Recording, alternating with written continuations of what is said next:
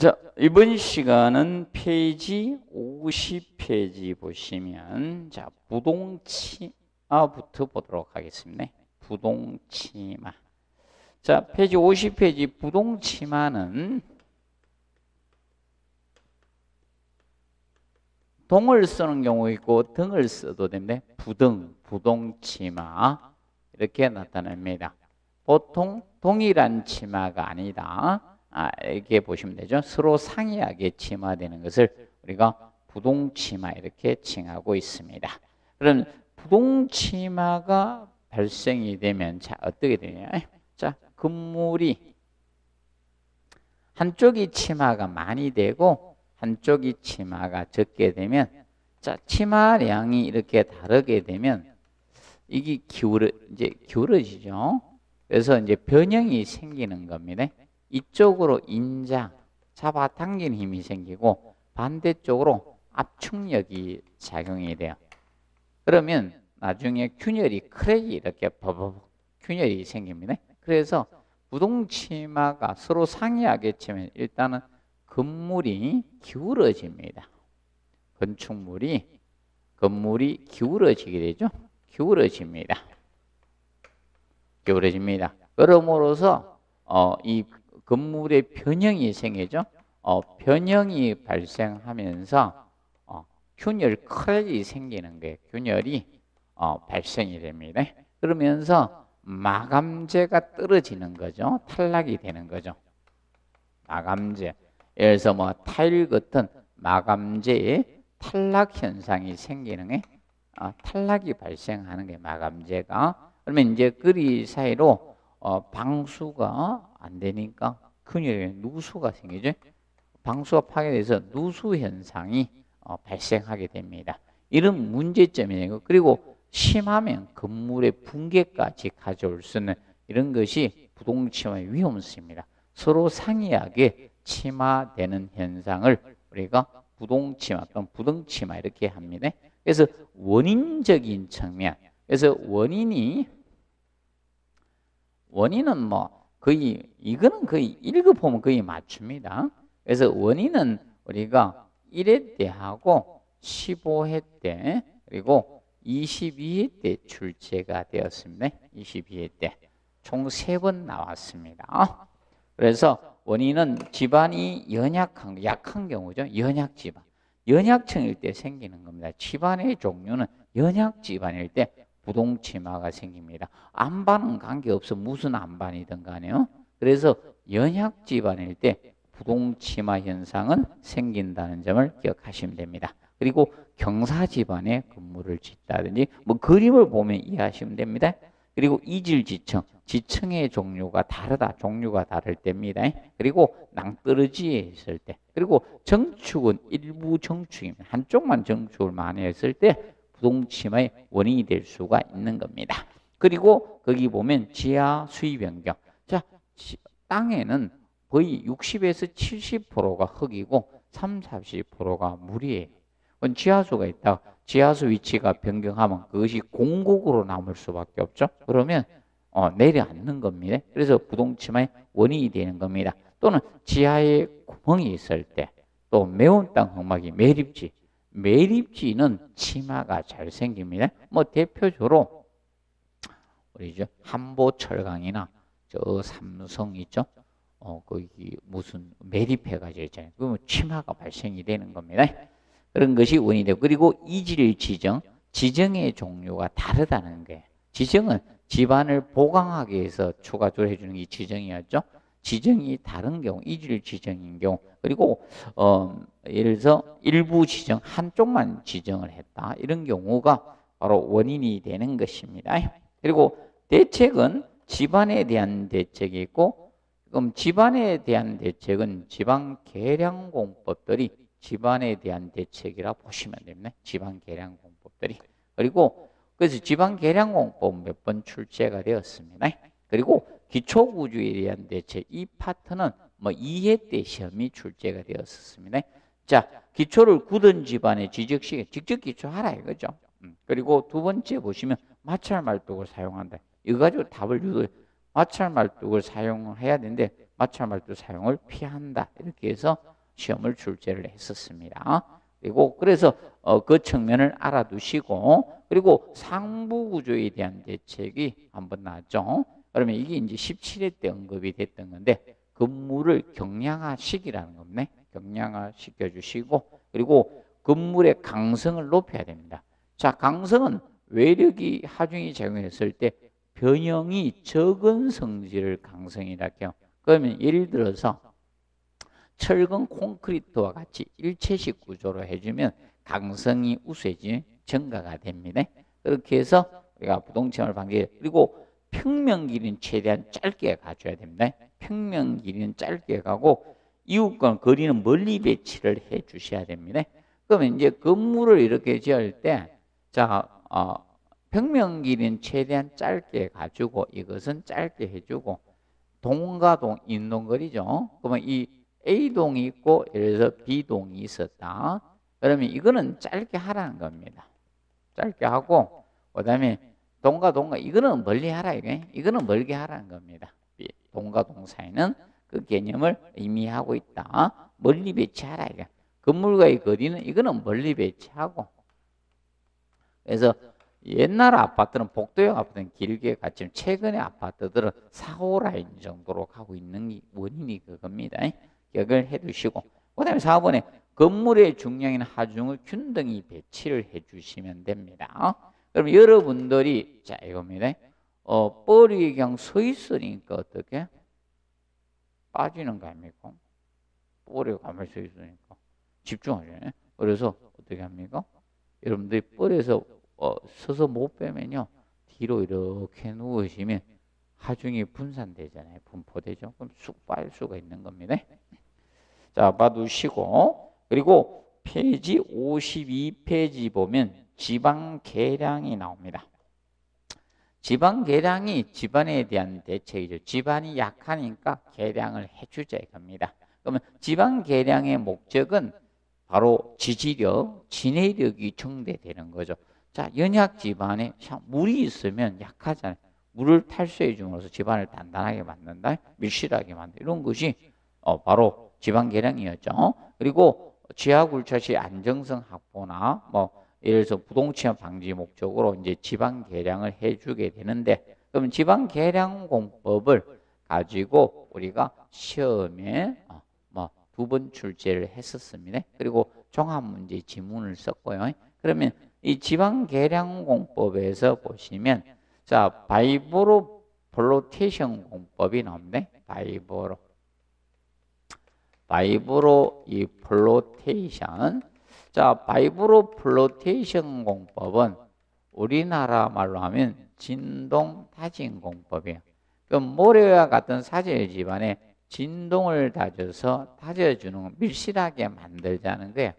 vibro flotation 공법이 있고요. 그리고 두 번째 보면 sand drain 공법. 자, sand drain 공법은 어, 점토 지반에 탈수 어, 지반에 물을 빼서 지반 압밀시키는 공법인데 자 sand drain 공법은 점토 지반이 투수성, 투수 계수가 나쁘잖아요. 물 빠짐성이 나쁘기 때문에 여기에다가 자 어, 모래 기둥을 만드는 거예요. 이렇게 해서 파일을 이렇게 해서 모래 기둥을 만드는 거예요. 모래 기둥을 그래서 이 모래 기둥을 형성시킵니다. 또는 모래 말뚝이라고도 하고요. 모래 말뚝을 만드는 거예요. 이 모래 말뚝을 만들어서 자 그러면 이 안에다 모래를 채워 넣게 되면 여기 이제 지하 하중을 가하는 거예요. 지하를 하중을 가하면 이 점토 집안에 있는 물들이 여기 점토 있네. 이 물들이 이 어, 모래 말뚝, 모래 기둥으로 스며 들어올 거 아닙니까? 이렇게 스며 들어올 거다. 스며 들어오면 어, 모세관 현상에 의해서 위로 올라옵니다. 모세관 현상에 의해서 위로 올라옵니다. 그래서 이것을 지반에 물을 빼줌으로써 압밀시키는 공법이 sand drain 공법이 됩니다. 그래서 지반에 물을 제거, 수분을 제거하는 탈수 공법에 해당이 되는 겁니다. 그런데 어, 이 sand는 모래, 모래를 이용한다. 그래서 sand, drain은 배수잖아요. 근데 대신에 어, 모래 기둥 대신에 paper, 특수 종이를 이용하는 것이 자, 3번의 paper drain. 네? 자, 이 paper drain 공법은 drain 공법은 어, 어, 이 cardboard 흡수지 종이라는 게 얘는 이 모래 기둥 대신에 종이를 활용한다. 그래서 paper drain 공법. 이 똑같이 점토 지반이 됩니다. 그리고 4번의 Chemico pile 공법은 자, 생석회 말뚝 공법이 생석회.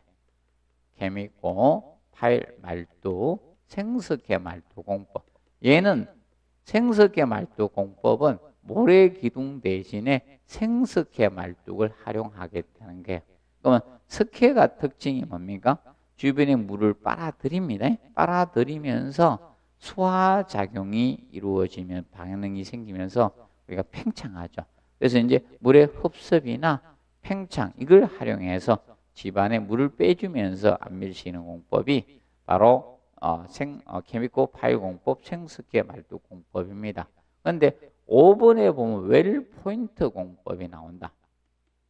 자, well point 공법은 자, 보통 well이라는 거, well point란 여과 장치를 활용하는 겁니다.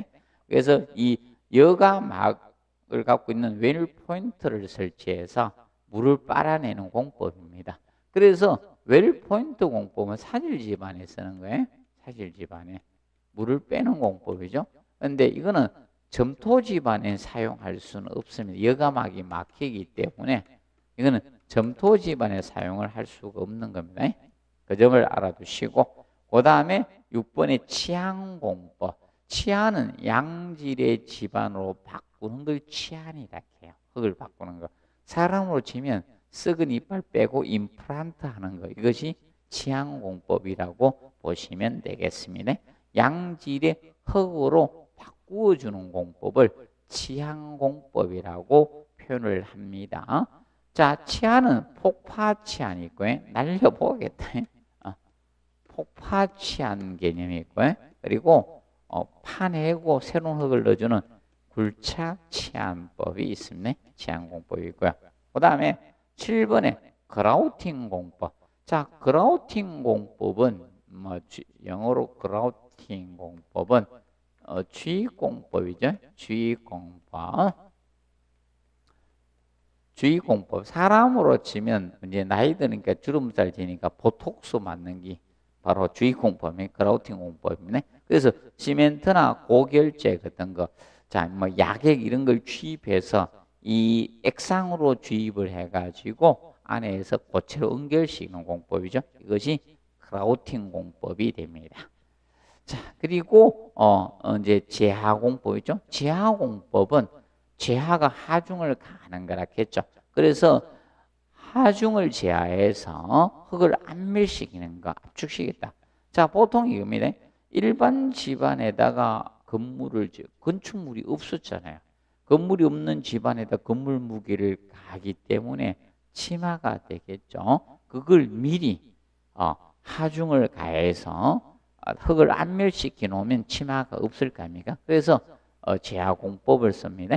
그리고 동결공법은 집안에다가 파이프로 액체 질소나 이런 가스를 주입하는 거예요. 그럼 주변이 얼겠죠. 그러면 땅이 얼게 되면 지하수 이동이 없잖아요. 그러면 공사장 우리가 주변만 조금 녹을 뿐이지 지하는 온도 변화가 잘 없거든요. 그래서 액체 질소를 갖다 주입해서 얼리면 이게 공사 기간 동안에 다른 데는 물 이동이 안 돼요. 그래서 어, 동결 공법을 쓸 수가 있습니다. 그리고 이제 별표해 놓은 것은 지방 계량은 아니지만 언더피닝 공법은 기존 건물입니다. 기존 건물의 구조물의 기초나 자 이런 것을 보강하는 공법 아니면 새로운 기초를 삽입하는 공법이 underpinning 공법입니다. 총칭해서 그럼 예를 들어서 어 한강 다리가 자 밑에 교각이 다 이제 깎여가서 힘들어. 그럼 새로운 보강을 해야 될거 아닙니까? 그것이 바로 underpinning 공법입니다. 그래서 underpinning은 기존이 나와야 된다. 기존 건축물에 기초를 보강하거나 새로운 기초를 삽입해 주는 것을 총칭해서 언더피닝 공법이다 이렇게 칭하고 있습니다. 그래서 이건 16회 때 출제가 되었습니다. 그리고 지정에 대해서 보도록 합니다. 자, 지정은 집안을 보강해 주는 부분이 지정이죠. 그러면 보통 지정은 뭐 그렇게 중요한 건 아니고 역사상 시험에 18회 때 지문 두 줄 써서 보통 지정은 그러면 보통 지정 잡석 지정에서 한 줄 그리고 미창 공기 지정에서 한 줄 썼었습니다. 그러면 우리가 어 이거는 재료입니다. 보통 지정은 재료를 무엇을 쓰느냐에 따라서 나누어지는 거다. 그러면 예를 들어서 지금 현재 뭡니까? 모래 지정, 모래로 다져준 거예요. 그리고 자갈로 다지면 자갈 지정. 잡석으로 하면 잡석. 잡석은 막 생긴 돌, 허들의 돌을 잡석이라 하죠. 잡석. 그래서 이제 잡석 20cm 전후의 정도 돌이죠. 뭐 또는 호박돌, 어, 어, 호박돌, 어, 우리 머리통 크기만한 걸 돌을 우리가 잡석이라 해. 그래서 호박돌 크기, 우리 호박이랄까 하죠. 호박 안 추우나 이러잖아요. 호박 기억하시면 됩니다. 자, 그래서 어, 기본적으로 알아둘 것은 이 잡석, 잡석을 어, 보통 우리가 세워서 어, 우리가 다지게 됩니다. 왜 그런가 하면 세워서 다져야지 강도가 커져요. 자, 모르시면 이거 30cm 작아지고 이렇게 맞으면 소리가 요란하거든. 딱 세워서 때리면 호박 깨십니다. 그래서 세워서 다지고 돌을 다지면 공극이 생기겠죠. 머리통만한 돌을 다졌으니까 그것을 채워주는 것, 공간을 채워주는 걸 사춤이라 사춤 자가를 어, 채워줍니다. 그것이 잡석 지정입니다. 그리고 자갈로 다지면 자갈 지정, 주춧돌은 옛날 저기 주춧돌이죠. 목구조, 나무 구조에서 기둥 아랫부분에 돌 설치했던 게 있죠. 그것이 주춧돌이죠. 그리고 밑창 콘크리트 지정 기초판 밑면에 그죠? 보통 잡석 다짐을 이렇게 해서 돌을 다졌어요. 막 생긴 돌을 잡석을 이렇게 다졌어. 그리고 사춤을 이렇게 하거든요. 이렇게 다졌습니다. 이런 식으로 다져가지고 그러면 잡석 지정을 다져놓고 그 위에다 바로 하기 공사하면 힘들죠. 그래서 공사를 쉽게 하기 위해서 위에다가 콘크리트를 치는 거예요. 이게 잡석 지정이고 그리고 그 위에 치는 콘크리트, 이 밑창 콘크리트가 되는 거예요. 그래서 기초판 밑에 치는 콘크리트, 밑창 콘크리트 지정이 되는 거예요. 그래서 밑창 콘크리트 지정은 지금 시험에 언급된 게 그겁니다. 어, 그 강도가 나죠. 네, 그래서 별도로 정하면 15메가파, 최소 15메가파스칼 이상이 된다 이겁니다. 그리고 타설 두께는 설계 도수대로 그대로 가면 됩니다. 그런데 어, 정함이 없으면 혹은 60mm로 해주시면 된다는 겁니다. 자 그리고 55페이지 보면 말뚝 지정이 나와요. 말뚝 지정, 말뚝 기초죠. 말뚝을 박아준 거예요. 자 역학상 분류는 힘을 어떻게 전달하냐에 따라서 지지 말뚝과 마찰 말뚝 두 가지로 구분이 되고 있는 거야. 그러면 지지 말뚝은 지지 말뚝은 어, 말뚝의 어, 끝부분이 선단이 굳은 집안, 경관 집안의 지지가 되는 거예요. 이것을 지지 말뚝 이렇게 칭합니다. 그러면 어, 이 지지 말뚝과 자 마찰 말뚝의 차이점은 자 우리가 굳은 집안, 경관 안반이 깊게 없어. 그럼 연약층이 얇기 때문에 바로 지지시켜 주는 거예요. 이게 기초판입니다. 있을 때 경관 집안이 여기 있다는 겁니다. 경관 단단한 집안이 경절 집안이 여기 있습니다. 그럼 말뚝을 갖다가 끝부분이 선단이 지지가 돼 이것이 바로 지지 말뚝 개념이 되죠. 그래서 이 연약층이 깊지 않을 때 연약층이 깊지 않아서 충분히 말뚝이 잘해갈 수 있다 쓰는. 이것이 지지 말뚝 개념이 되는 거야. 말뚝의 끝부분 선단이라고 하네. 이것을 지지 말뚝. 그럼 마찰 말뚝 개념은 이겁니다. 자, 기초가 있을 때 어, 경질 지반이 너무 깊게 위치하고 있는 게 단단한 지반이 밑에 있다는 거예요. 그래서 말뚝의 끝 부분이 지지가 안 되는 거예요. 그래서 말뚝의 표면하고 흙의 마찰력을 이용해서 지지하겠다. 그러면 이것이 마찰, 그래서 연약층이 너무 깊다는 거예요. 연약층이 연약층이 깊을 경우 자, 이 말뚝의 표면하고 흙의 마찰력을 이용하는 것을 마찰 말뚝 이렇게 칭합니다. 그런데 하나의 건물에서 이 혼용하면 안 됩니다. 기준 알아두시고 그 다음에 재료상 물류상 나무 말뚝 나무는 어, 자 부패 우려가 있겠죠. 나무는 그래서 부패 방지 조치가 이루어져 주셔야 됩니다. 그래서 그 1번에 생통나무로 껍질은 벗겨라는 생나물새 생통나무로 껍질은 벗겨서 부패를 방지하기 위해서 사용을 해주고 있는 겁니다. 자, 그리고 어, 3번에 보면 말뚝은 항상 그 전장 전체 길이가 전장이 어, 상수 그에 나죠 지하 수위 아래에 상수음 이하에 있어야 된다. 부패 방지에서 물 속에 잠겨 있어야 된다 이 뜻입니다. 지하 수위 아래에 있다는 것은 이래야지 부패 방지가 됩니다. 그래서 이제 생통나무로 껍질은 벗겨라. 어? 그리고 어, 지하 수면 아래에 배치가 되어줘야 된다 이겁니다. 그리고 4번에 나무 말뚝 중심각 말뚝 머리 직경에 2.5배 한 값하고 최소값 또는 해놨죠. 60cm 이상 중에 큰 값으로 해서 말뚝 간격 중심 간격을 유지합니다. 그리고 기성 콘크리트 말뚝은 자 공장에서 만든 말뚝을 현장에서 탕탕 햄마로 두들 받는 거죠. 이 기성 콘크리트 말뚝입니다. 자, 기성 콘크리트 말뚝 개념은 일반적으로 뭐 저거 가지고 우리가 어 그래서 1번 가지고 언급을 했었습니다. 파손이 균일 파손이 생기는 우리가 사용하면 안 됩니다.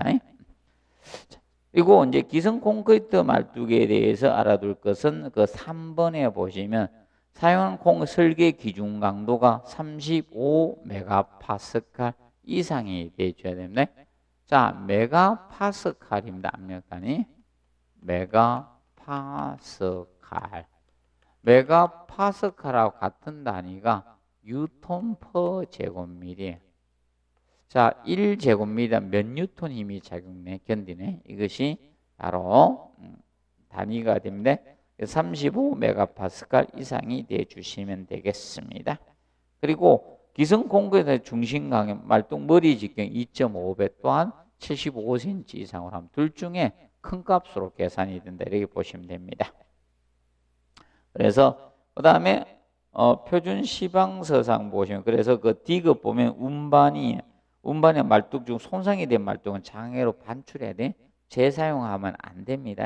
그래서 장애로 반출을 해 주셔야 된다는 점 아, 정리를 해 두시고 그리고 시옷에 보시면 인면상 말뚝 상단은 평면적으로 100mm 이하의 편차가 이제 10cm 이하의 편차가 있어야 된다. 그럼 말뚝을 현장에서 이렇게 때려 박으면요. 다양해요. 말뚝이 똑같이 안 들어가요. 때려 박으면. 똑같이 들어간 말뚝 없어요. 여기서 막 다 틀리거든. 그러면 일정한 선에서 다 두드리 깹니다. 오한마로. 그러면 인면상 오차가 생기겠죠? 그것이 100mm 이하가 되어주시면 된다 이 뜻입니다. 자 그리고 강제 말뚝은 강제는 어, 우리가 부식의 우려가 있겠죠. 예, 부식에 대한 고려를 해 주셔야 됩니다. 그럼 우리 시험에서 언급됐던 거는 저 가지고 낸 겁니다. 그 표준 시방서상 니은 말뚝의 현장 위험은 용접으로 한다. 이것이 언급이 돼서 출제가 됐던 겁니다. 그리고 강제 말뚝은 자 3번의 책까지 중심 간격 나오죠. 그럼 보통 중심 간격은 말뚝 직경의 폭의 두배 이상으로 보통 하는 게 기본 원칙은 접근 안 주시면 그리고 그중 75cm 중 큰 값으로 설계해 주시면 됩니다. 그리고 현장 타설 콘크리트 말뚝은 굉장히 종류가 많습니다. 그래서 혹시 영어 지문이 나오면 현장 타설 콘크리트 말뚝이다 보시면 돼. 현장 타설 콘크리트 말뚝은 어, 현장에 천공 구멍을 뚫어서 안에다 이렇게 구멍을 뚫어서 철근 배근 한걸을 넣고 현장에서 콘크리트 탓을 해서 만든 게 현장 탓을 콘크리트 말뚝입니다. 이것을 제자리 콘크리트 말뚝이라고 돼요. 제자리에서 말뚝을 만든다 해서 제자리 콘크리트 말뚝 이렇게 칭합니다. 그래서 현장 타설 콘크리트 말뚝 개념은 시험에 언급된 것이 그 표준 시방석 기억 개념 언급이 됐던 거예요. 주거의 위험은 겹침의 위험이잖아요. 보통 어, 이렇게 됩니다.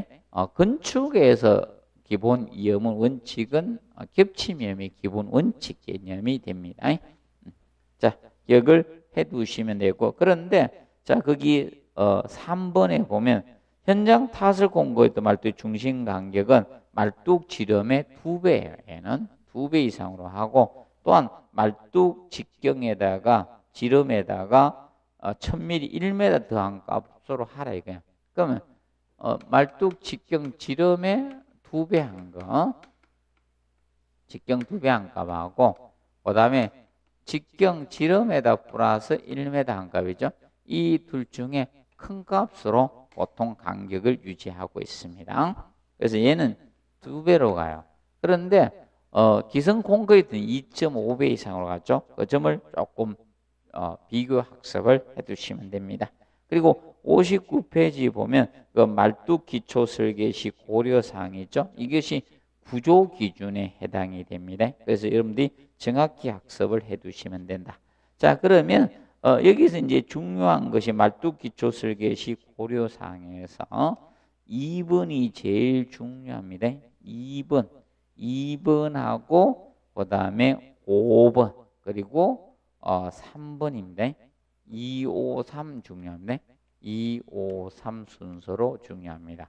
그래서 2번에 보시면 말뚝 기초 설계에서 허용 자 말뚝 기초의 허용 지지력은 말뚝 지지력에 의해만 가고 특별히 보면 어, 기초판 점의 지지력은 가산하지 않겠다는 겁니다. 쉽게 이게 기초가 있습니다. 기초가 있습니다. 자, 기초가 있을 때 이렇게 어, 말뚝을 때려 박았어요. 지지 말뚝을 했다 가정합시다. 선단에 대해서. 그러면 실제 이 말뚝의 지지력이 있을 것이고 말뚝의 지지력이 있겠죠. 그리고 기초판 저면에 작용하는 집안의 지지력이 있다는 거죠. 집안의 지지력. 이 집안의 지지력이 있다는 겁니다. 그런데 어, 이 집안의 지지력은 가산하지 않겠다 이게 얘는 가, 이것만 포함시켜서 계산하겠다 말뚝이죠. 그러면 말뚝의 지지력만 고려한 그만큼 말뚝을 튼튼하게 설계하자는 개념이 됩니다. 알아두시고 그리고 말뚝 기초의 설계에서 하중의 편심에 대한 검토가 있어요. 하중 편심이 생기면 굉장히 안 좋습니다. 검토를 우리가 해주시고 그리고 5번에 동일 구조물 건축물에서는 절대 이종 형식 기초에서는 안 되고 이질 지정도 되지 않습니다. 그리고 말뚝 혼용도 하지 말았겠죠. 다른 종류 항상 기억하시면 됩니다. 자 그리고 넘겨보시면 60페이지 옹벽이 나옵 자, 옹벽은 최근에 출제가 되지 않고 있는 이거는 뭐 주봉에서 다룰 때 나왔다가 그러면 옹벽 중력식 옹벽은 옹벽에 자 이거죠 자중으로 버티는 거예요. 그럼 얘는 철근 콘크리트로 만들 필요 없네. 자중으로 버티는 게 중력식 옹벽이 옹벽만 있는 거예요. 그러면 토압을 옹벽의 자중이 분담해 주는 거에 버티는 것이 중력식 옹벽입니다. 그리고 캔틸레버식 옹벽은 철근 콘크리트로 만들어집니다. 캔틸레버는 한 변만 고정이 됐고 세 변이 자유단인 것을 캔틸레버라 해요. 이렇게 된 거예요. 캔틸레버 이것이 캔틸레버 옹벽이고 그러면 캔틸레버 옹벽에다가 부축벽만 추가한 부축벽식 옹벽이 되는 거예요. 그러면 가장 토합이 클 때 쓰는 것이 부축벽식 옹벽 개념이네. 그러면 이것이 옹벽이 이렇게 까고 있는 거예요. 옹벽이 이렇게 되고 있으면 이때 어, 여기에다가 부축벽을 설계하는 겁니다. 부축벽 일정한 간격으로 여기다가 부축벽을 갖다가 이렇게 설치해 주는 거예요. 이런 식으로 부축벽을 대주는 거예요. 부축벽. 그럼 이 부축벽이 있을 때 부축벽이 옹벽이 되는 겁니다. 음, 캔틸레바시 옹벽. 그럼 제일 튼튼한 것이 부축벽시 옹벽이 되는 거예요.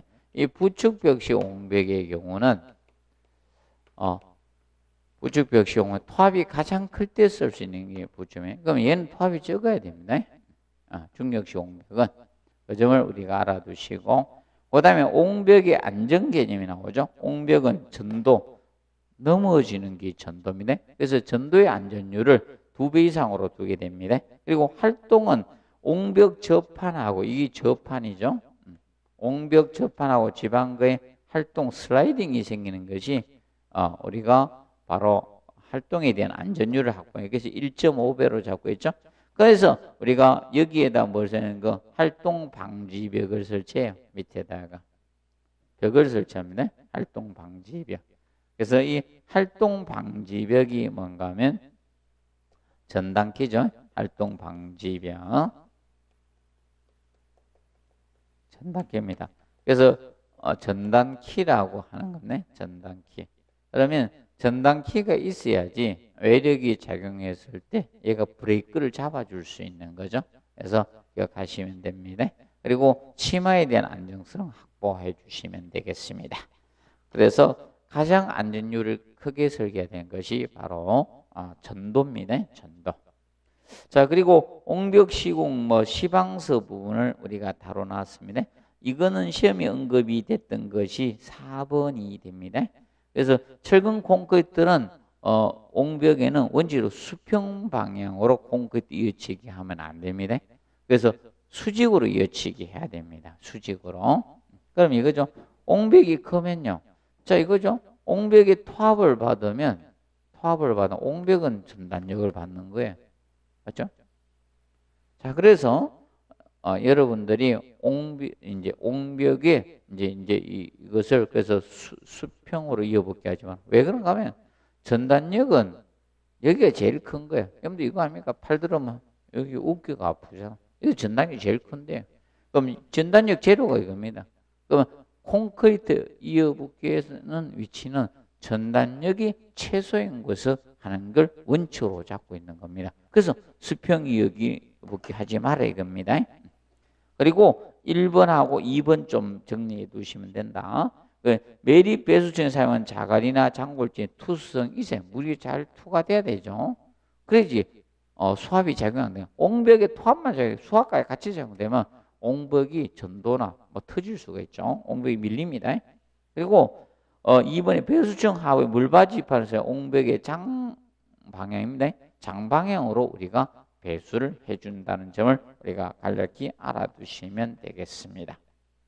그래서 어, 이번 시간에 뭐 부동 치마화가 어, 지정 부분에 대해서 다뤘습니다.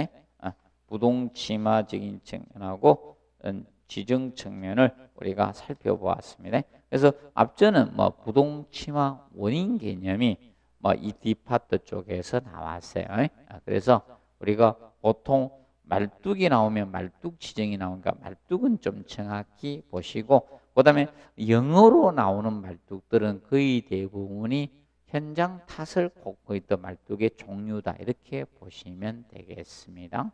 그래서 뭐 이분은 여기까지 마치도록 하겠습니다. 뭐 다음 시간에 뭐그 67페이지 뭐 철근 콘크리트 구조 파트부터 들어가도록 하겠습니다.